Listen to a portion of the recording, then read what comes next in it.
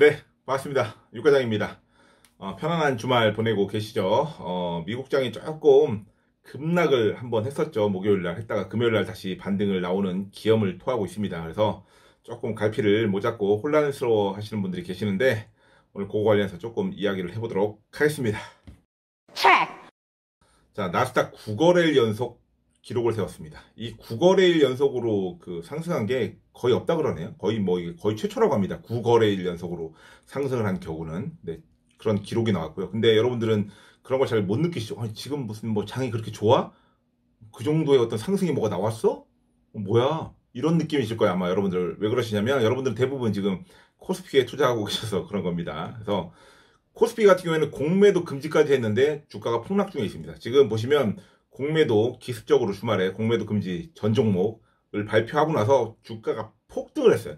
코스닥 같은 경우에는 장중에 사이드카까지 걸렸습니다. 상방, 상방 사이드카. 근데 사실은 이게 코로나가 끝나고 나서도 한번 사이드카가 나온 적이 있어요. 그래서 어, 근 10년 만에 두 번 정도 나왔고 저희 이제 코스피 코스닥 역사상 네 번 정도 발생이 됐다고 하는데 요거를 근 3년 만에 지금 여러분들은 두 번 보신 겁니다. 근데 여러분들 전혀 와닿지 않죠? 왜 그럴까요? 주가가 다시 제자리로 돌아가고 있기 때문입니다. 그래서 제가 지난 방송에서도 말씀을 드렸죠. 그 공매도가 꼭 우리한테 좋은 걸까라는 이제 주제로 제가 방송을 한번 올린 적이 있는데 그 근데 그 말이 지금 뭐냐면 일부 공매도가 좀 심했던 전기차라든가 이런 것들은 조금 막 상한가도 나고 빵빵빵 떴는데 나머지 주식들은 어땠어요? 별 영향 없었어요. 예, 그리고 지금 어때요? 더 빠지고 있어요. 왜? 공매도가 안 되니까 그런 외국계 회사들은 기본적으로 헤지 투자를 해요. 그죠? 왜냐면 얘네들은 어느 쪽으로 한쪽으로 가거나 한쪽으로 치우치는 걸 굉장히 싫어해요. 왜? 잘못하면 회사가 망해버리니까요. 상방이든 하방이든 이 배팅이 틀리면 얘는 망해버려요. 그래서 어떻게 돼요? 하나는 long, 하나는 short 이런 식으로 가져간다고요. 심지어 같은 종목을 long으로도 가지고 있고 short으로도 가지고 있는 경우도 있어요. 왜? 해지하는 거예요. 왜? 그 사이에서 변동폭 뭐 1%, 2%, 3% 이렇게 변동폭을 먹으려고 한다고요. 왜? 그만큼 자금이 거대하니까 그런 거예요. 저희랑은 달라요. 저희처럼 500만 원, 뭐 1000만 원 투자하는 게 아니에요. 그리고 저 같은 경우에도 한 종목의 포지션이 한 1억 정도만 넘어가잖아요. 그러면 솔직히 빠져나올 때 조금 부담돼요. 네, 조금. 막 몇 억가는 잡아 먹어야지 막 물량을 쏟을 수 있거든요. 근데 막 몇백억, 몇천억을 들고 있는 애들이 그 물량을 정리한다? 불가능해요. 그러니까 어떻게 롱숏을 다 갖고 있는 거예요. 그래서 내가 이만큼 올라서 여기서 팔고 싶으면 얘네들 수익권은 여기가 아니고요. 오히려 팔고 나면 수익권 여기쯤으로 쭉 떨어져요. 그러니까 어떻게 돼? 하방 포지션을 같이 갖고 있는 거예요. 그럼 어떻게 돼? 쭉 올라갈 때는 하방에 좀 손해를 보지만 여기서부터 쏟을 때 이만큼 해서 하방에서 손해를 봐서 얘네들 평균 수익을 유지해 주는 거예요. 그런 식으로 가져가는데 공매도 금지되니까 막 좋아갖고 막 난리 났죠. 최근에 그 RP들 있죠, RP. 그 유동성 공급자라고. 걔들도 물량 공매도 못하게끔 해야 된다 막 들고 일어나시는 분들이 있어요. 근데 저도 개인 투자자고 공매도를 안 좋아하고 무차익 공매도 쓰레기고 그 다음에 그리고 이제 무차익 공매도 수기로 관리하는 것들 완전 극혐하거든요. 시스템으로 안 되는 건. 근데 이 공매도 금지 자체가 해법이 아니에요, 여러분들. 왜냐면 여러분들도 알고 계실 거예요. 뭐냐면 주가에서 가장 중요한 건 뭘까요? 이 기업의 성장성? 네? 그다음에 뭐야? 매출? 영업이익? 물론 다 중요해요. 근데 이것보다 더 여러분들이 투자의 관점으로 보실 때 이건 진짜 초장기적인 관점이고요. 근데 여러분들은 초장기 투자 안 하잖아요. 여러분들 전체 개인들의 평균 보유 기간 5개월이랍니다. 5개월. 여러분들 본인이 장기 투자한다고 하지 마세요. 3년 이하로 투자한다. 그냥 다 단기, 단타쟁이에요. 다. 아셨죠? 여러분들 포함한 저 무조건 다 단타꾼들입니다. 그래서 이걸 보고 투자하시는 게 아니에요. 여러분들. 말은 이렇게 하지만 결국엔 뭐예요, 여러분들? 여러분들은 수급을 보고 투자하시는 거예요, 수급. 그죠? 이걸 보고 투자하셔야 돼요, 또. 여러분들이 한국 시장에 투자한다면. 근데 이 수급이 어때요? 빠져나가고 있는 거예요. 투자 안 해요. 아니, 공매도도 안 되는데 뭘. 대신 이제 뭐예요? 대형주에. 대형주들은 가능하겠죠. 왜? 선물로 거래가 가능하니까. 근데 이 선물로 거래를 해도 얘네들이 잘 안 들어와요. 왜? 그동안은 한국 시장은 공매도에 상한 기간이 있었어요? 없었어요? 없었죠? 그, 그러니까 어떻게, 물리면 버텨서 물 타고 물 타고 가면 자기들 수익이 나거든요? 근데 이런 것도 지금 없어지고 있죠. 못 하잖아요.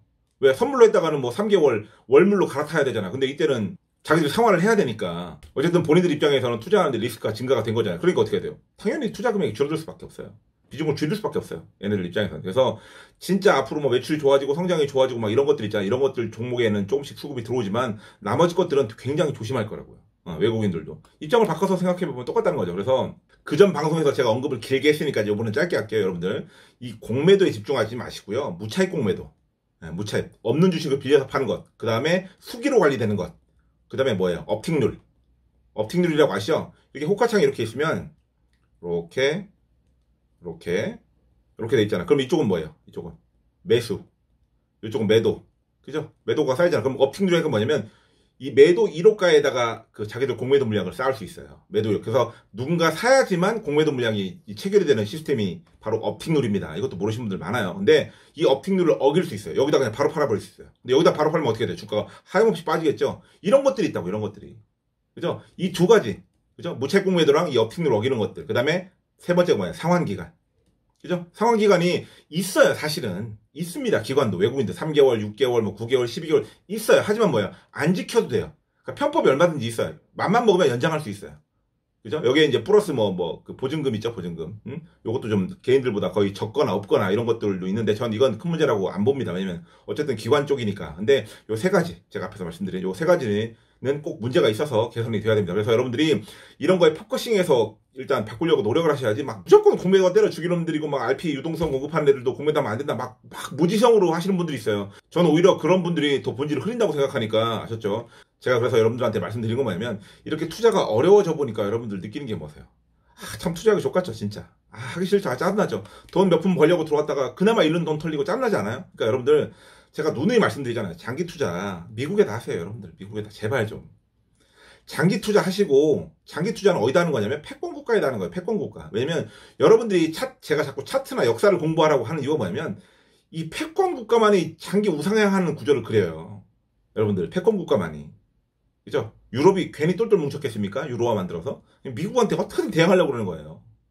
그죠? 중국이 지금 왜 발악하겠어요? 이런 구조를 너무나도 잘 알기 때문에 왜 패권을 가져오지 않으면 장기적으로 미국한테 결국 노비로 살아요. 음, 미국이요 지금 맘만 먹으면 우리나라 1초면 그냥 다 박살낼 수 있어요. 우리가 뭐 미국한테 대항하니 뭐 미국 어쩌고 저쩌고 하는 사람들 있잖아요. 진짜 본질을 모르는 거예요. 만약에 지금 미국이 빡 들어갖고 아, 한국 환율 조작국 지정 이렇게 탁 하면 어떻게 될 것 같아요, 여러분들? 한국 경제 그냥 작살납니다. 작살나요. 환율이 얼마일 것 같아요, 지금? 네? 환율이 2,000원 막 2,500원 할걸요? 그럼 여러분들 어떻게 될 거예요? 에너지의 대부분을 수입하고 식량의 대부분을 수입하는 나라에서 어떻게 될 것 같아요? 그냥 작살나는 거예요, 여러분. 뒤지는 거예요. 패권 국가가 그만큼 무서운 겁니다, 여러분들. 그죠? 그 패권 국가에 투자하세요, 여러분들. 그러면 뭐예요? 달러. 돈의 가치가 떨어질 때 달러가 제가 얘기했죠. 달러가 상대적으로 좀 덜 떨어진다. 한국 돈 이만큼 떨어질 때 달러는 이만큼 떨어진다고. 그리고 어떻게 돼? 기업들은 장기 우상향하죠. 혹시나 안 좋아지면 미국에서 돈 풀어갖고 아 다시 살려주죠. 이런 국가에 투자하시라고요, 여러분들. 왜 굳이 국내 주식에 자꾸 투자하시는 거예요? 그러면 또 이제 미국에 투자하라고 하면 그런 분도 있어요. 막 세금 어쩌고 확 그냥 수익 낸 다음에 세금 얘기하라고 그랬죠, 제가. 수익을 한 몇 억 낸 다음에 그 다음에 세금 얘기하세요. 그러면 뭔가 와닿지 나도. 아 그래, 어 세금 야 이렇게 많이 내면 좀 부담스럽다. 이런 얘기 하지 공감을 해주지. 아니 돈도 벌도 못하면서 무슨 세금이야 자꾸 짠나게. 세금 얘기하지 마 그냥 확 그냥 울, 울 때를 그냥 세금도 안 내면 지금 안 그래도 저 지금 해외 주식 팔 거 다 팔고도 지금 1,300만 원 수익이라서 이거 지금 22% 세금 떼게 생겼는데 열받는데 씨. 떼면서 얘기하든가. 아무튼 그래서 여러분들이 장기 투자 하실 때 국내 투자하지 마시고 꼭 패권 국가 지금 미국이죠 미국에 투자하시고 국내에 굳이 투자하셔야 되겠다고 하면 수익 단계로 하세요. 왜? 왜? 아이 뭐 장기 투자해야지 뭐 너는 그렇게 얘기하냐 뭐 어쩌건 뭐 날라가는데 뭐 어쩌고 저쩌고 이렇게 이상한 소리 하시는 분들 계시는데 우리나라는 대한민국은 스윙 단기로 투자해야 되는 나라예요. 맞잖아요. 이런 패권 국가들의 경제 이 논리에 따라서 우리는 어때요? 이렇게 움직이죠. 이렇게 더 크게 움직이죠. 그리고 어떻게 돼요?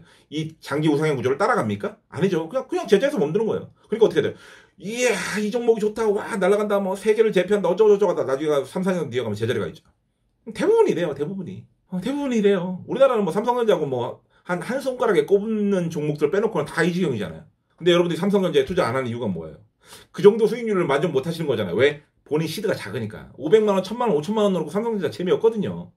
그죠? 그러니까 그런 거를 꼭 저는 나쁘다고 얘기하는 게 아니라 그런 걸 인정하면서 투자를 하는 거예요. 왜 말로는 자꾸 장기 투자하는데 여러분 장기 투자자가 아니에요. 내가 나를 똑바로 알아보고 그걸 인정해야 올바른 투자를 할 수 있다니까요. 그리고 지금 한국 시장이 막 스윙 단기가 어울리는 시장이라는 걸 인정하고 여러분들이 들어가야 물렸을 때 버티지 않는 거예요. 자꾸 물리면 버텨요. 죽는다니까요, 물리면. 그리고 이제 얼마 전에 제가 댓글 뭐 환율 1350원 어쩌고 정리했다가 지금 비중 조금씩 늘리는 중이다 영상을 올리니까 거기다 어떤 분이 댓글 이런 거 달았더라고요. 어, 유가장 말 안 듣고 1350원에 손절하는 내가 승자라고. 그분 지금 승자일까요? 그날 공매도 금지시킨 날 주가가 빵빵 떴잖아요. 뜨니까 좋아갖고 또 와갖고 막 카카카 조롱하니까 에이 유가장 그때 비중 줄였는데 난 안 줄였지롱. 오늘 상한가 나왔지롱 이러고 있는 거예요. 지금 그분 뭐 하고 있을 것 같아요? 뭘 뭐예요? 병신짓 하고 있지. 제발 좀 그렇게 하지 말라니까요 여러분들. 지금 보세요. 배터리들 이만큼 떴던 거 다 제자리까지 다 돌아왔어요. 그리고 제가 멤버십에는 이제 어떤 섹터라든가 이런 거 다 찍어서 올려드렸어요. 거기에 투자하시면 되는 거고, 여러분들한테 여러 번 말씀드리고 있지만, 가는 종목, 주가가 올랐다가 아니면 또는 내려졌다가 반등이 나왔을 때 더 가는 종목들, 살아있는 종목 이런 거를 발굴해서 투자하시고 밑에서 반등 나올 때 딱 비중을 실어서 먹고 나오시는 거예요. 괜히 불안하니까 또 한 500만 넣어볼까? 500만 넣을까? 이만큼 올라가야 여기서 막 몇천만 원막목 돋는다. 그러다가 조금 부러지면 마이너스야. 이렇게 투자하지 마세요 좀. 바닥에서 불안할 때 나만의 기준이 있으면 거기서 비중을 실어서 짧게 먹고 나오시고 오히려 올라갈수록 비중을 어떻게 해야 돼? 줄여야 돼요 여러분들. 처음에 밑에서 막 5천만 원 1억 갖다 투자하시고 나중엔 천만 원, 2천만 원 갖고 투자하시는 거예요 위에서는. 예. 육과장 같은 경우에 지금 턴 하는 종목에다가 한 종목에 지금 거의 한 1억 6천, 1억 8천 정도 투자가 돼 있거든요. 두 종목을 들고 있습니다. 두 종목 합쳐서 3억이 조금 넘는데 이렇게 지금 이렇게 어려울 때 바닥일 때 약간 사람들이 좀 망설이고 간 보고 막 이럴 때 있잖아요. 그럴 때 비중을 좀 실으시는 거예요. 그리고 나서 진짜로 어떻게 해요? 막 날아가고 막 이럴 때 나 저는 비중을 뚝뚝뚝뚝 잘라서 줄여야 돼요. 음. 여러분들 삼성전자라든가 이런 걸로 많이 겪어보셨잖아요, 이제. 그만 좀 하세요, 제발. 아셨죠? 그리고 이제 지금 또 무섭다고 막 배당주로 도망가지 마시고 지금 수급이 좋은 것들, 그죠? 그런 종목들 찾아서 그쪽에다 투자하셔야 되는 거예요. 그리고 바닥일 때 좀 비중 관리를 잘 하셔서 좀 목돈을 탁탁탁 넣어서 그래서 그런 것들을 좀 지키셨으면 좋겠어요. 그래서 아무튼 여러분들 잔소리가 길어졌는데 아무튼 그렇게 좀 투자를 하셨으면 좋겠다. 그래서 지금은 좀 좋은 괜찮은 섹터들 발굴해서 비중을 실어서 짧게 탁 먹고 나오는 그런 시즌에 있다고 저는 일단 보고 있습니다. 그리고 유가장도 그렇게 투자를 하고 있으니까 여러분들도 그렇게 조금 대응을 하셨으면 좋겠습니다. 네. 그래서 오늘 방송 또 답답한 마음에 이렇게 여러분들한테 잔소리 아닌 잔소리를 또 했고요. 월요일부터 장이 시작될 건데 조금 여러분들 시장을 좀 멀리서 보시고 그다음에 이제 제 방송 예전에 있던 것들 좀 제가 노하우를 담아서 말씀드린 것들이 있어요. 멤버십에도 있고 일반 방송에도 있는데 그런 것들 보면서 제발 자기 거 좀 만드세요. 자기 거 좀. 남의 거 만들면 결국 뛰어다니다가 결국 손실을 끝나고 다 떠나요. 그러니까 자꾸 새로운 사람은 물갈이 되고. 그러니까 막 김정은 같은 애들 막 이런 애들 있잖아요. 이런 애들 자꾸 나오는 거예요. 왜? 투자자들이 자꾸 물갈이가 되니까 새로 속아요. 했던 얘기 또 해서 또 섞고 또 섞고 또 섞고. 여기 있는 애들은 안 바뀌어요. 여기 투자자들만 계속 바뀌는 거예요. 왜? 기존에 왔던 사람들은 손해보고 떠나고 또 새로운 newbie들 들어오고 또 떠나고 또 newbie를 또 들어오고 여기서 계속 해먹는 거예요. 네. 그런 사기꾼 리딩 집단들이 안 없어지는 이유가 바로 그거예요. 여러분들이 계속 바뀌거든요. 여기 여기는 물갈이가 계속 되거든. 얘들은 계속 해먹고.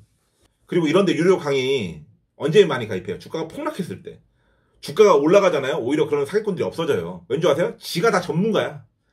야, 씨야, 그 종목에 뭐하러 투자해? 막 이러면서 막 이 종목이 어떻고, 저 종목이 어떻고, 대표가 어떻고, 뭐 누구랑 동기동창이고, 뭐 제가 고등학교 2학년 때 오줌을 쌌고 막 이런 것까지 얘기해요. 아, 전문가야. 막 다 전문가야. 제가 얘기했죠. 코로나 상승작 때. 다 전문가야. 내가 나와갖고 좀 떠들잖아요. 막, 막 비난해. 저, 저도 모르는 새끼가 나와갖고 저거 병신 짓 한다고. 다 전문가야. 그분들 지금 어디 갔어요? 다 사라졌어요. 한 명도 없어요. 그렇게 하지 마시라고요. 잔잔하게 자신만의 기준을 보시고 옛날 거 역사 보시고 한번 차트 보시고 종목들 어떻게 상승을 했다가 어떻게 하락을 하고 차트를 자꾸 보라고 하는 이유가 뭐냐면 그 차트 속에 사람의 인간의 심리가 담겨 있기 때문에 그런 거예요. 인간의 심리가 담겨 있기 때문에 그런 것들 을 자꾸 보는 거예요. 그래서 어떻게 돼요? 제가 이격 있죠. 이평선 이런 것들도 많이 설명을 드려요. 이평선에서 얼마만큼 벌어졌을 때는 조심하자. 그리고 그 종목별로 좀 특성이 있다. 응? 종목별로 특징이 있어요. 왜? 거기에 붙어 있는 북박의 세력들이 있거든요. 그런 데에 해먹는 특징이 있으니까 그런 것들도 좀 공부해라. 라고 제가 말씀을 드리거든요. 그래서 그런 것들도 좀 명심하시고 그런 것들이 있다. 그리고 한국은 수익 단계가 맞는 시장이다. 이런 것들을 좀 인정하고 그리고 본인은 단기 투자자다. 이런 것들을 인정하시고 자꾸 무슨 뭐 어디가 어떻고 대표가 어떻고 이런 거 하지 마세요. 여러분들은 장기 투자자가 아니에요. 아셨죠? 평균 보유기 한 5개월이라니까요. 그래서 어, 육과장이 앞으로도 이런 것들 여러분들 마인드를 조금 이렇게 정신 차릴 수 있는 이 멱살 잡고 hard carry 할 테니까 끌고 갈 테니까 여러분들 제 방송 구독과 좋아요 많이 눌러 놓으시고 어, 앞으로도 여러분들과 어떤 한국 시장을 좀 바로 투자할 수 있는 그런 길라잡이가 되도록 노력을 하겠습니다. 그리고 이번 기회에 그 무차입 공매도나 이런 것들이 많이 없어지고 배당도 증액한다고 하거든요. 이런 여건들이 개선되면 제가 1등으로 예, 육과장 1등으로 앞장서서 한국 주식시장에 장기 투자해야 됩니다. 여러분 하고 제가 선봉장에 서겠습니다. 그런 날이 온다고 하면 배당 늘리고 그 다음에 전문 경영인들 막 도입하는 게 어떤 제도화되고, 그 다음 무차입 공매도 없어지고, 그죠? 그런 것들 상환 기간이라든가 이런 것들 좀 투명하게 되고 그다음에 처벌이 좀 강화되고 이런 시장이 된다고 하면 저는 무조건 한국 시장에 1등으로 투자할 겁니다. 너무 좋죠. 세금도 저렴하고 아무래도 좀 기업에 대해서 공부하기도 좋고 저부터도 그렇게 할 겁니다. 아셨죠? 그러니까 여러분들도 그 전까지는 장기 투자하고 여러분들이 소중하게 받은 월급들 잔잔잔 모아가실 때는 해외 투자하세요. 그래서 다음 시간에는 제가 모아갈 만한 것들 전체적으로 한번 브리핑 한번 해드릴게요. 아셨죠? 일반 분들한테 멤버십 분들 빼고 전체적으로 브리핑 해드릴 테니까 대신에 이제 노말한 것들만 해드릴 거예요. 너무 너무 막 전문적인 거라든가 사업이라든가 이런 것들을 여러분들한테 대부분의 사람들한테 하긴 좀 그렇잖아요. 아시죠? 어쨌든 전체적으로 한번 소개를 해드릴게요. 그래서 여러분들이 그 피땀 흘려 번 월급들 그 이 증권가 애널들이나 어떤 금융 전문가들이나 아가리로 쳐넣지 않도록 제가 한 명이라도 일단 도움이 되었으면 좋겠습니다. 자, 오늘 방송 마치겠습니다. 육과장이었습니다.